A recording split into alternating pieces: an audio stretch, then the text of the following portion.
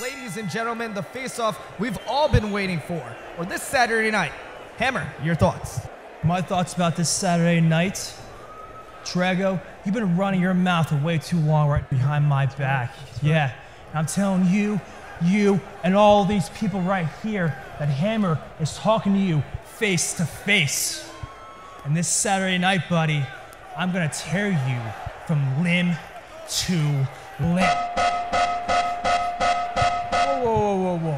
It right there, Hammer. You know how you get back in the ring with a broken back.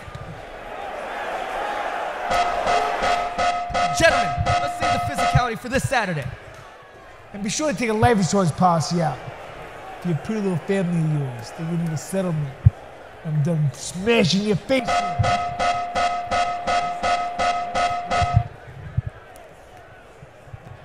My face? My face?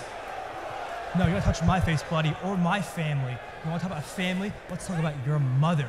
Because your mother ain't gonna know what to do with you at the hospital when I take your face and your head and I rip it off, and I smear it, and I take it sideways, and I shove it straight up your.